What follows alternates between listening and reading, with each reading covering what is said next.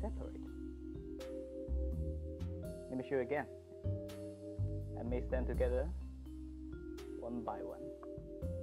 Shake